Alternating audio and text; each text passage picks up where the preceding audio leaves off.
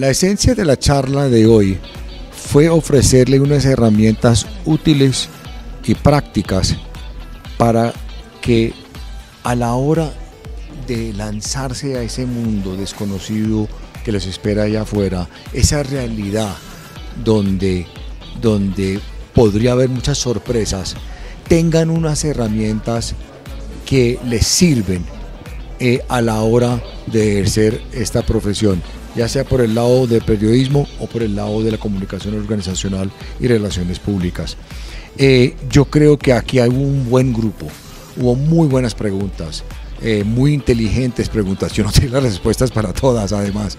pero considero que eh, el grupo estuvo muy atento y muy, muy deseoso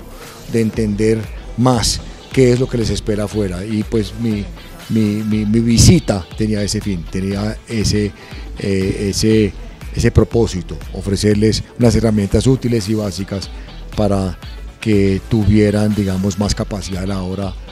eh, de trabajar en el mundo real.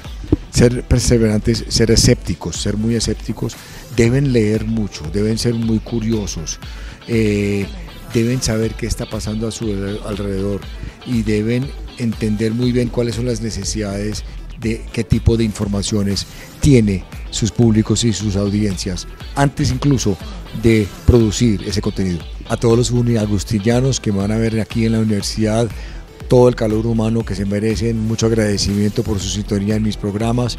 y bueno, muy contento de haber estado con este maravilloso grupo y felicitaciones por estas instalaciones tan maravillosas y este equipo que tienen aquí de seres humanos tan calurosos que me recibieron el día de hoy. Mucha suerte y que Dios los bendiga.